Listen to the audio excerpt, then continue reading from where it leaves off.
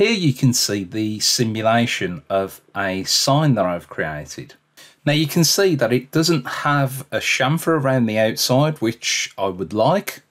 And also I want to create a few grooves going around certain parts of this sign. So if I turn on my vectors here, so first of all, I'm going to machine the outside and create a chamfer and show you how to do that.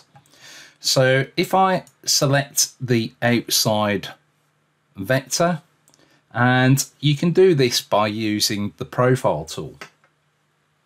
So if I create a profile toolpath and rather than go on the outside, what I need to do is go along the vector.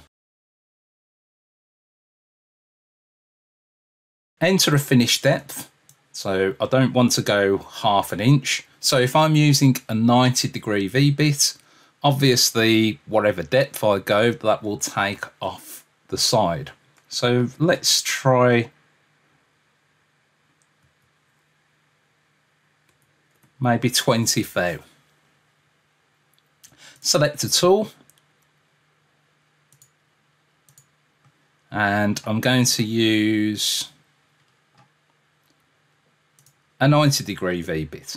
Now you can use any other degree V-bit, but it means that obviously you're not going to get a 45 degree chamfer, and also you're going to need to use trigonometry to work out how deep you need to go in order to take so much off the side.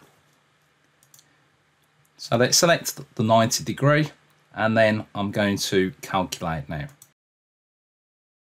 Then it creates the profile. So I'm going to rename that to, let's just call that chamfer. And then I can simulate that. So press play and you can see that running around the edge. So if I zoom in, you can see that it's created a chamfer. Now it's quite a small chamfer, so what I can do is double click chamfer and let's make it, let's say a bit deeper, let's say 0.1 and calculate now. Then I can just simulate that again. And you can see it's gone a lot deeper. So that's basically how you create chamfers around the edge of your parts. Now to create grooves, it's exactly the same. So if I turn on the vectors and let's say I wanted to create a groove, let's say here and here using a V-bit again, exactly the same thing, go to toolpaths, create a profile toolpath, profile, you want that to be set to a long. Enter a finished depth. Now I want this to be quite small, so I'm going to make this, let's say 40 thou. And then enter a profiling tool.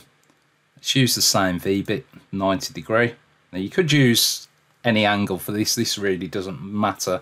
It's all about how it actually looks.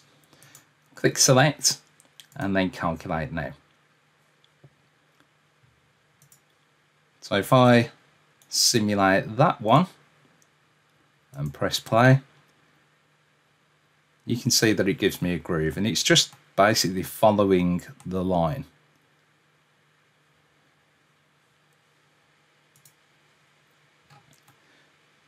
Now you don't have to use V-bits for this, you can use any sort of form tool for this. So you could use a round over, a ball nose, any sort of form. And you can you can even use an end mill, which will just follow the profile. So for this one, let's do a profile again and set it to a long and let's set a depth. Let's say 40 thou again. The profiling tool, I'm going to use a ball nose for this one. Let's say a 16th of an inch and then calculate. and then let's simulate this one.